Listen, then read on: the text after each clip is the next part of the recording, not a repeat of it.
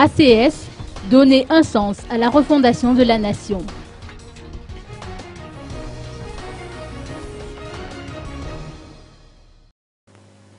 Un milliard de dollars, telle est la somme totale des aides octroyées par les bailleurs de fonds entre 2002 et 2003, d'après les chiffres avancés par l'amicale des anciens conseillers supérieurs de la transition et sénateurs de Madagascar ou ACS. Pour les anciens parlementaires, ces aides budgétaires n'ont pas donné les résultats escomptés en termes de développement.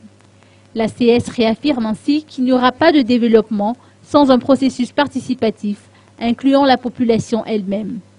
La collaboration avec les bailleurs de fonds doit subir une réforme, de même que la politique économique appliquée à Madagascar. Cette politique doit reposer sur la défense des intérêts des opérateurs nationaux, a souligné le docteur Jules Rangiema coordonnateur de l'ACS. Des idées ont émergé de l'atelier de réflexion sur l'analyse socio-économique de Madagascar, organisé par l'ACS aujourd'hui à l'hôtel Le Louvre d'Antananarivo.